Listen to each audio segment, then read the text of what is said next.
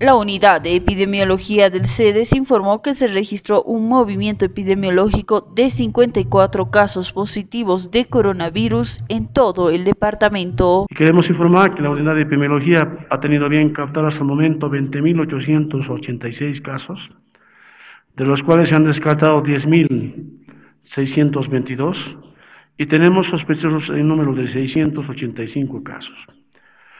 Y el movimiento epidemiológico para hoy día se refuta en 54 casos positivos, de los cuales masculinos tenemos 28 y femeninos 26.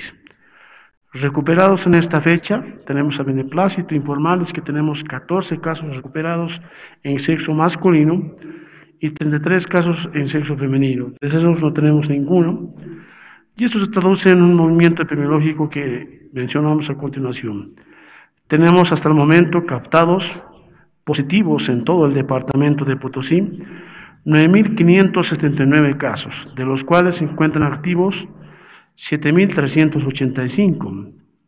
Los recuperados tenemos 1.967 y tenemos decesos en el departamento de Potosí en número de 221 y 6 en otro departamento. Por otro lado, informó que se continúa trabajando con la atención a la pandemia y que se prepara un plan de contingencia para trabajar en las elecciones. Y invitamos a la población potosina también a que se cuide.